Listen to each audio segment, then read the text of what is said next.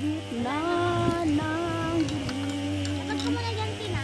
Sa gitna ng araw. Tayo ay umakyat. Ay, nakakyat. Dyan sa puno. Hindi ko kayang umakyat sa puno na Nakakataga